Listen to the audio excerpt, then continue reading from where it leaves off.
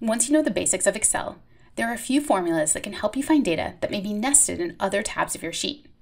Learning these formulas can help you fill in missing values and search for data without having to filter and sort. The first formula we're going to look at is VLOOKUP.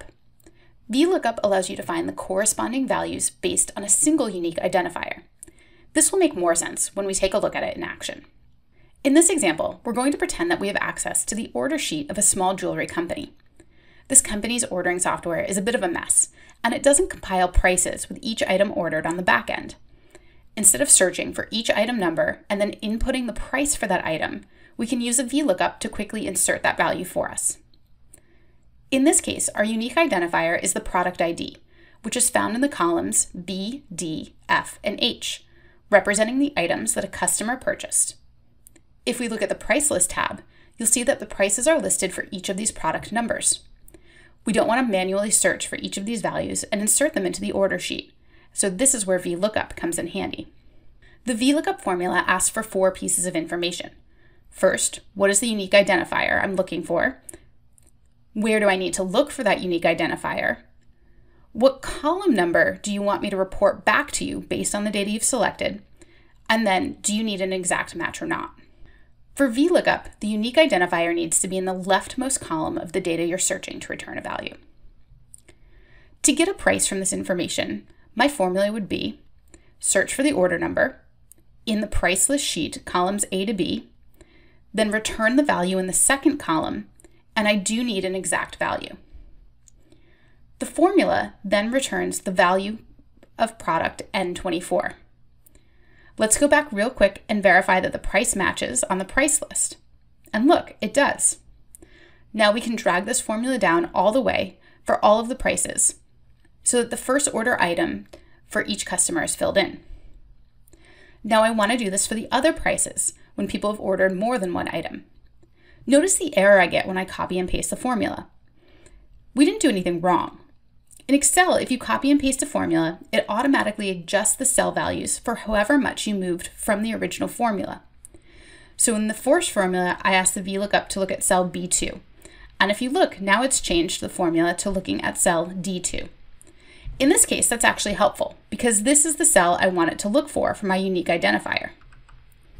The issue with this formula is that it's now looking at columns C and D in the price list sheet for the unique identifier, and there's no data there that will match. To hold the cells so the columns don't change, insert the dollar sign to lock the columns, and then you won't have this error occur. I'm just going to drag this formula down a couple of rows. Look at what happens at row 8 when the customer didn't order a second product. I get an error. And I should get an error because there's no unique identifier there.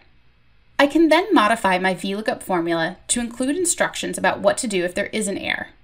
The if error formula tells Excel to do a certain thing, in this case, the VLOOKUP. And if there's a problem with that formula, return a specific value. In this case, I'm going to put zero because there's no cost if an item was not ordered. Now, the price will return as zero. You could also choose to leave the value blank if you wanted.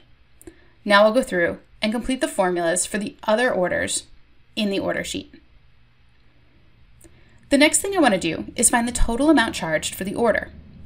For that, I'll use the sum formula and tell Excel to sum the values in columns C, E, G, and I. Now I have all the prices and the total amount for each order. Looking back at the by person tab on the spreadsheet, I can import the order total for each person using the order number as a unique identifier, and then having VLOOKUP search the order tab now that I've got the total cost of the order.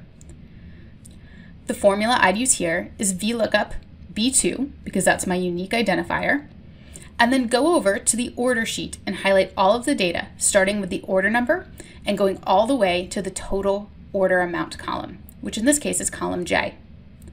Now I need to tell it which column to pick from. So I need to count. I go from A to J, and that is 10. So I put the number 10 to tell my formula to look in the 10th column of that selection. Then I put false because I do want an exact value. Now my formula has given me the total amount of the invoice for that person.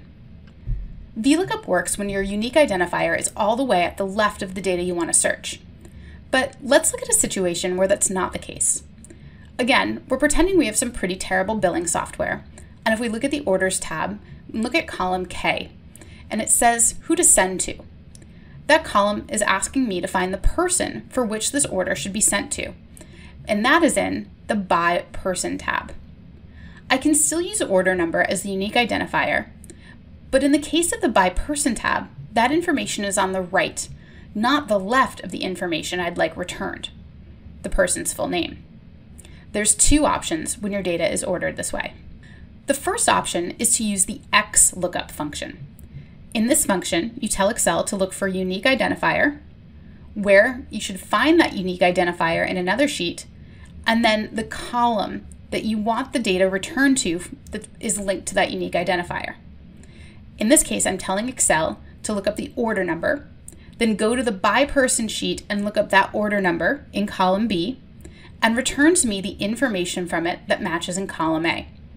And you'll see the person who ordered that is returned. I can then fill that formula down to get the person whose order belongs to each order number.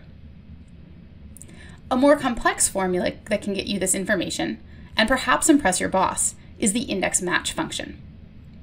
For index match to work, I need to tell Excel the information I need, which in this case is the person's name, or column A in the by person tab.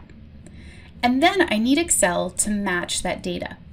For the match function, I say, what is the order number or the unique identifier I need it to find?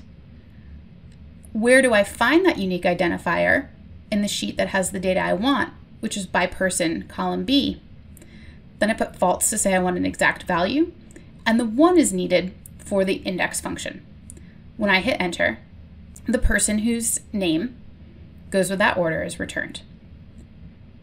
This may seem a little complicated, but it is really helpful when your data is not structured in columns the way you need it to be for VLOOKUP, and it saves you from having to edit and move your data around in your sheet. Knowing these formulas to help you fill in data can make moving on to the analysis portion of your data work go much more quickly.